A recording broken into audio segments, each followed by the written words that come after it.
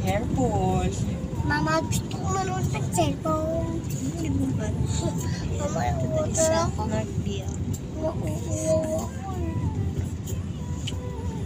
Araw-araw ka din ba? Ma'am Margie sa Manila? O sa bahay ka lang nagtatrabaho din?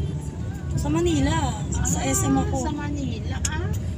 Sa Tim Hortons. Everyday ka rin umuwi. Hindi ako everyday umuwi. Nagbo-board ako dun. Eh, ito naiwan dyan sa mama mo. Oo.